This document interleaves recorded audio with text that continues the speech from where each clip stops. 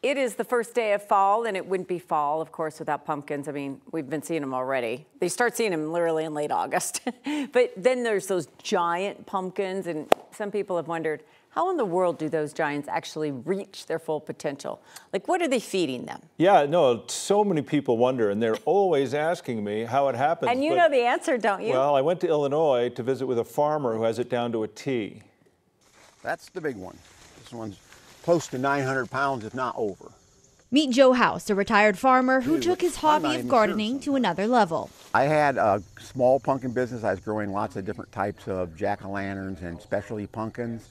And I happened to see um, a picture of the giants on and so I decided, hey, you know, that would be a good addition to this as a draw. That's where his fascination for growing giants was born, calling his first try at it successful.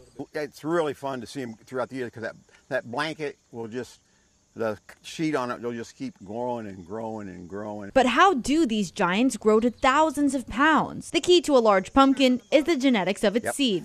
One year, uh, one seed went for $1,000 from a world record. Probably the most I've ever paid for a seed was probably 50. They start in a greenhouse with the goal of getting them in the ground by the first two weeks of May. Next, it takes lots of water, more like hundreds of gallons of water a day, as a giant pumpkin growing at its peak can gain 50 pounds a day. Then putting a sheet over the pumpkin as it grows to protect it from the sun in those summer months. And some growers even create their own Miracle-Gro for the orange giant. After that, um, I think there's a lot of finger crossing.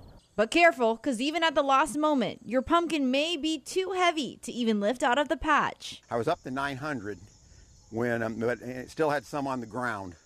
And then my strap broke and dropped it, and then she cracked. But House didn't stop at pumpkins. How about a giant gourd? Watermelon? Lucky. Tomato? Sunflower? Indian corn? Or so giant amaranth, which is a flower that'll flower out later.